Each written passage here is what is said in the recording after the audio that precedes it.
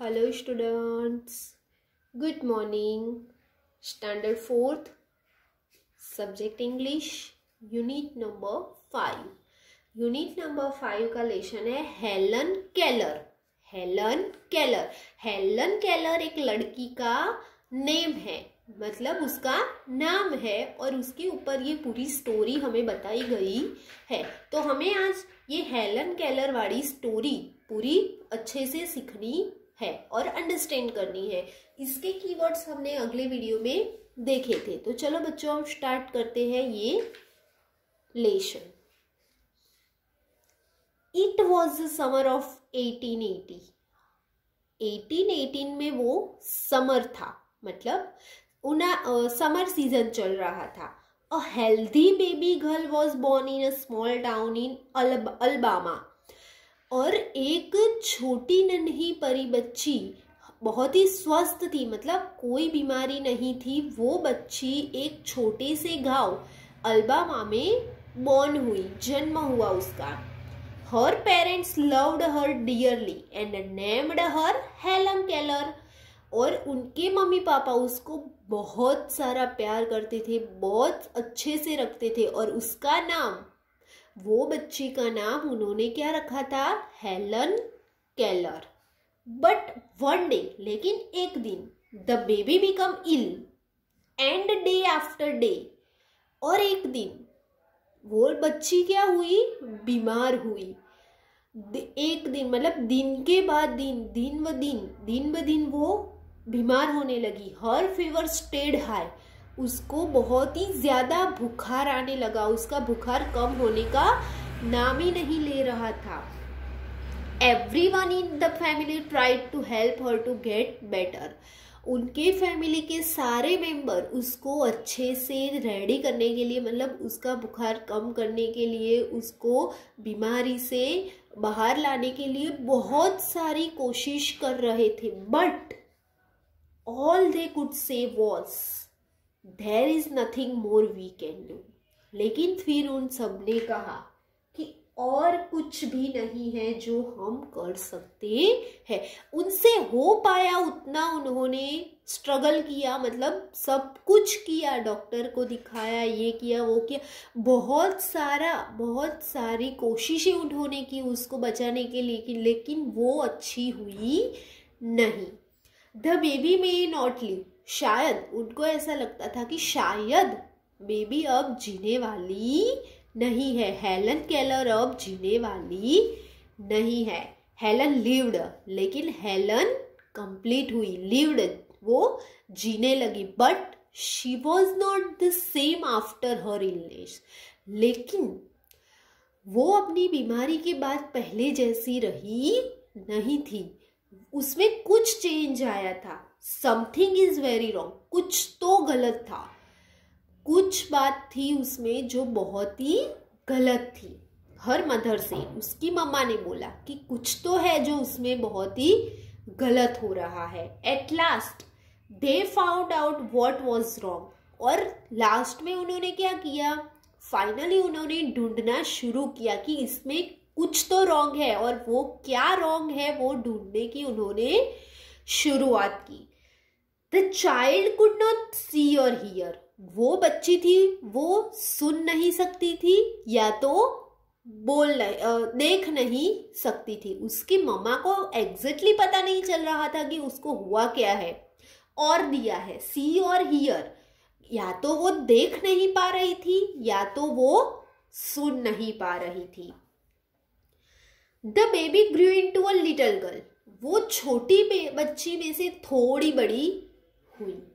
Her parents felt sorry for her उसके mummy पापा को उसके लिए बहुत ही दया आ रही थी, बहुत ही बुरा लग रहा था।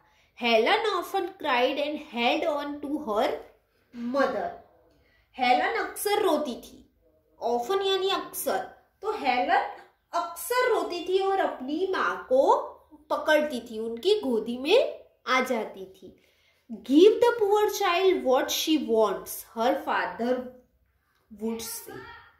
उसके पापा उसकी मामा को बोलते थे कि बच्ची को जो भी चाहिए वो तू तू उसे दे। जब भी बच्ची रोके अप, रोकती थी और अपनी माँ की गोदी में आती थी तो उसके पापा बोलते थे कि बच्ची को जो कुछ भी चाहिए तू उसको दे। Though Helen sorry though Helen could not hear or see she was a bright little girl Helen कुछ देख नहीं सकती थी या बोल नहीं सकती थी, लेकिन वो ब्राइट यानी बहुत ही क्लेवर गर्ल थी, होशियार लड़की थी। Some people thought Helen could not learn anything बहुत सारे लोग ऐसे थे जो बोल रहे थे कि हेलन कुछ पढ़ पाएगी नहीं, कुछ सीख पाएगी नहीं। Her mother did not agree लेकिन उसकी मम्मा उन लोगों से सहमत थी नहीं, उनकी बात मान रही नहीं थी। Helen is very smart Helen बहुत ही स्मार्ट बच्ची थी। She said and added the problem is how can we reach her तो उसके मामा ने सोचा कि अब हमें इस प्रॉब्लम इस प्रॉब्लम के पास कैसे पहुँचना है। She is locked up inside herself तो उसकी मम्मा ने क्या किया? वो लड़की को एक कमरे में बंद कर दिया। Helen began to grow wild. वो वाइल्ड मतलब भी गुड मैनर के साथ बड़ी हुई नहीं। उसको बोलने की तमीज़ नहीं थी, ना कुछ खाने की, पीने की, कुछ भी उसमें तमीज़ थी नहीं। She would not let anyone comb her hair वो कभी भी अपने हेयर को कॉम्ब करती नहीं थी। उसके हेयर कभी अच्छे होते नहीं थे। Her clothes her clothes very sorry her clothes were always dirty उसके क्लोथ्स उसके जो कपड़े थे वो ऑलवेज गंदे ही होते थे। शी वॉज़ ऑफन एंग्री वो बहुत ही गुस्सा करती थी। Sometimes she even lay on the floor and kicked her feet वो कोई कोई टाइम तो ज़मीन पे सो जाती थी और अपने ही पैर से किक लात मारती थी। Her parents thought that they should find a teacher for her तो उसके मम्मी पापा ने सोचा कि अब उसके लिए हमें एक टीचर की ज़रूरत है।